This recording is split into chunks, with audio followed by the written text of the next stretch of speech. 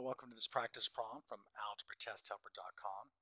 And what we're going to do here is graph this line. Okay, so we have what we call a linear equation, or if you kind of think about the way that sounds, a linear equation sounds like a line equation, and that's exactly what this is.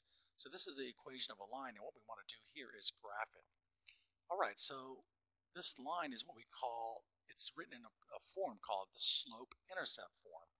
Right here, this number is the slope, get the number in front of the x, and then this number over here is the y-intercept.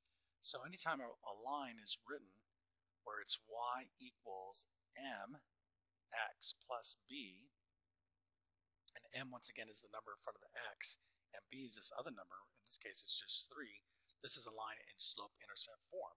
So to graph a line in slope-intercept form, I'm going to erase this here, what we do is we start with this point here. This is this point is the is the um, coordinate where the line is going to intersect the y-axis. So this is going to be 3. So I'm going to go up to 3 on my y-axis here. One, two, three. So this is one point that's on that line. Okay. Now what we do is we use the slope information. In this case, it's 1 half as kind of a set of uh, directions to get to our second point. Because if you think about it, you need two points to graph a line. Okay, so from this point here, I'm going to use this one half to tell me how to get to the next point. Okay, so the one half is our slope, and that indicates the rise over the run. Okay, so the one is how much the line rises, and the two is how much the line runs.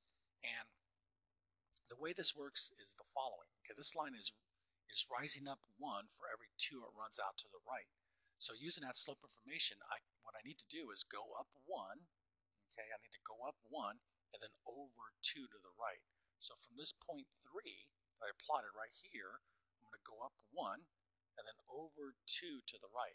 Okay, so see what I did here? I went up one and over two to the right.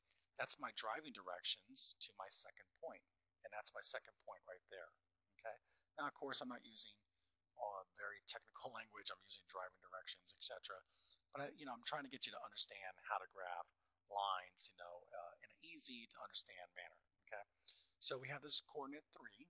Okay, then we use the slope one half to get to the second coordinate, and now I have two points that are on this line, and I can just go ahead and draw a line through it. So this is the graph of the line y equals. Let's go and draw here. y equals one half x plus three. So I'm going to be doing a lot more examples of graphing lines. It's commonplace where students uh, sometimes have trouble in, in algebra. So subscribe to my YouTube channel and come on over to algebratesthelper.com. I have a ton of free notes that you can access if you're learning um, algebra. Excellent resource. Okay, have a great day.